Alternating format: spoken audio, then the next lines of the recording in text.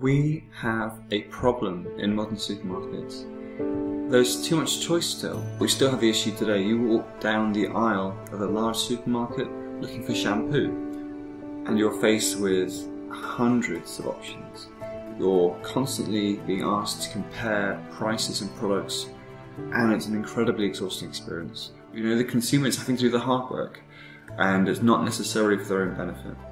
Uh, we see this as a problem, we're trying to solve it with a concept called R-Help.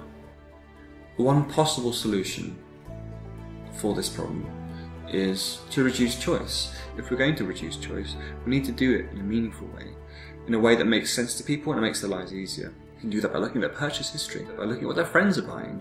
We can do that by looking at their dietary requirements and using all those different variables and more to distill what is essentially 100 products down to maybe one or two. So I've added the olives to my basket. Great, I've made the right decision. I know that because my friends buy these olives.